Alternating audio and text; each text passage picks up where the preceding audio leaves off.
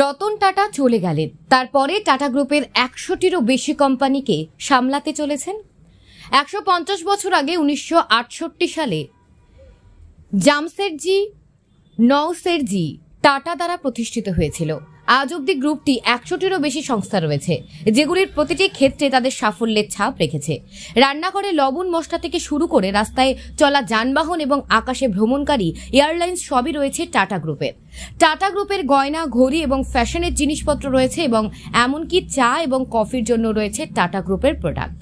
শুধু তাই নয়, মানুষ টাটা গ্রুপের আটটি কোম্পানির তৈরি সফটওয়্যারও ব্যবহার করছে। দেশের জিডিপিতে টাটা গ্রুপের দু শতাংশ শেয়ার রয়েছে। এই গ্রুপের বিভিন্ন কোম্পানিতে নয় দশমিক তিন পাঁচ লক্ষেরও বেশি কর্মী কাজ করছেন, যা প্রায় চারশো তিন বিলিয়ন ডলার আয় করে। রতন টাটা টাটা গ্রুপকে নতুন উচ্চতা দিয়েছেন। রতন টাটা উনিশশো একানব্বই সালে প্রায় একশো পঞ্চাশ বছরের পুরনো টাটা গ্রুপের চেয়ারম্যান হন। দু হাজার বারো সালে অবসর গ্রহণের আগ পর্যন্ত তিনি তার ঠাকুরদার হাতে প্রতিষ্ঠিত এই কোম্পানির চেয়ারম্যান ছিলেন।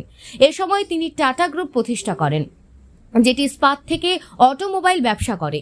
তিনি উনিশশো ছিয়ানব্বই সালে টাটা টেলি সার্ভিসেস শুরু করেন এবং দু হাজার চার সালে টাটা কনসালটেন্সি সার্ভিসেস টিসিএস হিসেবে একটি আইটি কোম্পানি শুরু করেন।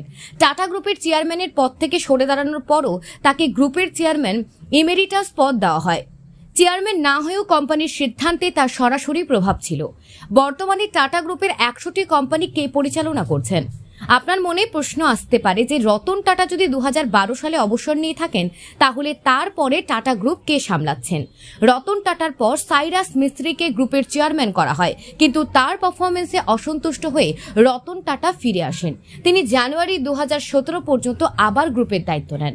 এরপরে তিনি তার বিশ্বস্ত নটরাজন চন্দ্রশেখরকে দলের নেতৃত্ব দেন। এন চন্দ্র শেখরণ বর্তমানে গ্রুপের চেয়ারম্যান হিসেবে দায়িত্ব সামলাচ্ছেন।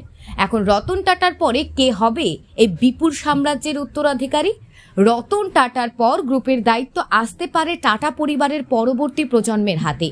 টাটা পরিবারের পরবর্তী প্রজন্মের মধ্যে রয়েছে নেভিল, লিয়া এবং মায়া টাটা, যারা টাটা গ্রুপের বিভিন্ন কোম্পানিতে নিজেদেরকে সাধারণ পেশাদার হিসেবে প্রমাণ করে এগিয়ে এসেছেন। এই তিনজন হলেন রতন টাটার সৎ ভাই, নোয়েল, নেভাল টাটার সন্তান এবং ল্যাকমে কোম্পানির প্রতিষ্ঠাতা, সিমন টাটার নাতি। নোয়েল টাটাও এই দায়িত্ব পেতে পারেন। তবে তার সম্ভাবনা খুবই কম। মায়া টাটাকে সবচেয়ে প্রতিভাবান বলে মনে করা হয়। টাটা পরিবারের পরবর্তী প্রজন্মের মধ্যে মায়া টাটাকে সবচেয়ে প্রতিভাবান বলে মনে করা হয়। যিনি ব্রিটেনে বাস, বিজনেস স্কুল এবং ওয়ার্কউইক বিশ্ববিদ্যালয় থেকে পড়াশুনো করেছেন। চৌত্রিশ বছর বয়সী মায়া তার কর্মজীবন শুরু করেছিলেন টাটা অপরচুনিটিস ফান্ড দিয়ে, যা ছিল টাটা ক্যাপিটালের একটি সহযোগী প্রতিষ্ঠান। এ সময় তিনি পোর্টফোলিও ব্যবস্থা বিনিয়োগকারীদের সম্পর্কের ক্ষেত্রে সবাইকে মুগ্ধ করেন। পরে তিনি টাটা ডিজিটালে যোগ দেন। টাটা গ্রুপের প্রভাবশালী মুখদের মধ্যে মায়াকে গণনা করা হয়, যারা গ্রুপের প্রধান প্রবর্তক কোম্পানি টাটা, সনসেস বার্ষিক সাধারণ সভায় অংশগ্রহণ করে এবং তার পরামর্শ বিবেচনা করা হয়। লিয়াহ টাটা হোটেল শিল্পের নাম কুড়িয়েছেন। টাটা পরিবারের পরবর্তী প্রজন্মের মধ্যে লিয়া টাটা সবচেয়ে বড়। আটত্রিশ বছর বয়সী লিয়া মাদ্রিদের আই বিজনেস স্কুল থেকে মার্কেটিং এ স্নাতকোত্তর ডিগ্রি নিয়েছেন। দু সালে তিনি টাটা গ্রুপে যোগ দেন। তিনি গ্রুপের আতিথিয়তায় company Taj hotel resorts and প্যালেসে সহকারী বিক্রয় ব্যবস্থাপক হন। বর্তমানে তিনি Indian hotels company limited IACL vice president. Neville Tata বাবার ব্যবসার সাথে যুক্ত। নেভিল টাটা বেশিরভাগই তার বাবা নোয়েল টাটার ব্যবসার সাথে যুক্ত ছিলেন। বত্রিশ বছর বয়সী নেভিল নোয়েলের কোম্পানি ট্রেন্ট লিমিটেড একজন নন এক্সিকিউটিভ ডিরেক্টর ছিলেন। বর্তমানে তিনি টাটা গ্রুপের খুচরা ব্যবসা স্টার বাজারের প্রধান। নেবিলের স্ত্রী মানসী, যিনি বাস বিজনেসের স্কুলে পড়াশোনা করেছেন, তিনি টায়োটা কির্লোস্কর গ্রুপের মেয়ে।